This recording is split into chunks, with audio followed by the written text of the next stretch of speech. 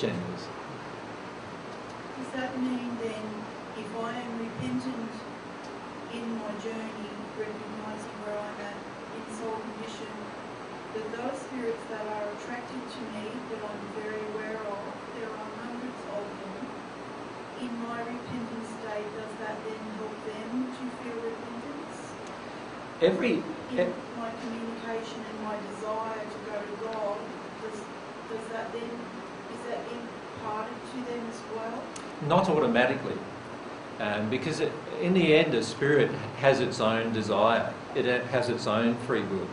So many times, what happens is we may be working through an emotion as a person on earth, and a spirit may be connected with us just because of that one emotion. So let's say the emotion uh, is one for yourself rage. All right, so there's a rageful emotion inside. Let's pick oh, murder. Because there, there's lots here. So there's a. around me because The- of that murderous tendency. That's right. Hundreds of them. That's right. So the emotion inside of you is one of, you know, feeling so rageful that you're almost willing to go and commit a murder. Does that make sense? And that in itself will attract a group of spirits who are, have murderous tendencies. Now, they won't look at the rest of your condition. So they won't, unless they have a pure heart, they will not look at the rest of your condition. So, in other words, what they see when they look at you often is they're looking at your spirit form more than your material form.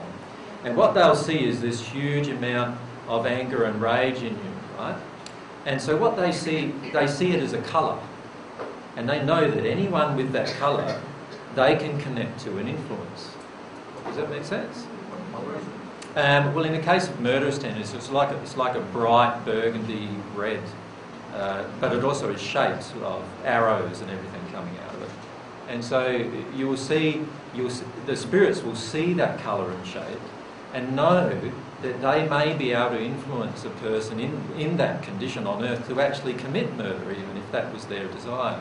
So is it like a parasitic type of uh, Yes. attraction? It's like a parasitic attraction. So a person who's a medium is also subject to these attractions perhaps even more than the average person.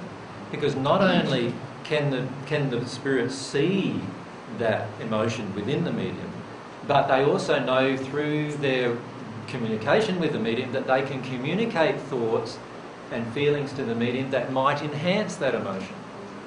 Yes, I do. And that's what happens with you quite a lot. So the key within yourself is to actually deal with the core emotion, and we'll talk about that later in the in the session today.